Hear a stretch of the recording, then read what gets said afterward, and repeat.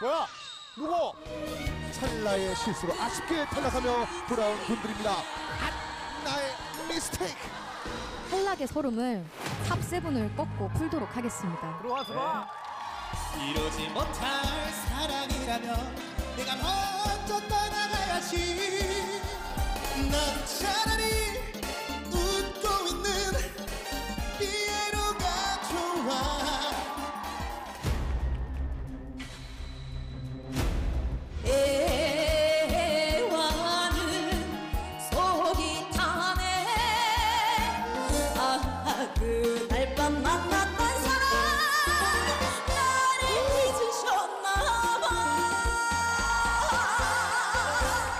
저희는 처음 봐요. 혜성 씨가 이성한테 이렇게 하는 게.